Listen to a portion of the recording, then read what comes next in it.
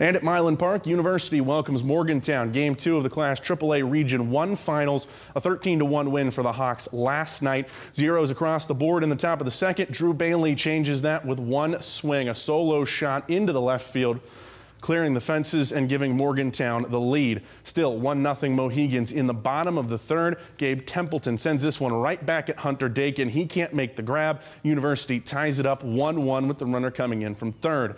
Bottom of the fifth, Morgantown now with a 3-1 lead, but University with the bases loaded. Gabe Jansen hit by a pitch. That allows one runner to come in to score. Bases still loaded for Jet Walters. He takes a walk to tie the game at three. Josh Smolkin up to the plate next, and he takes a walk as well. That does the damage to put the Hawks back in front.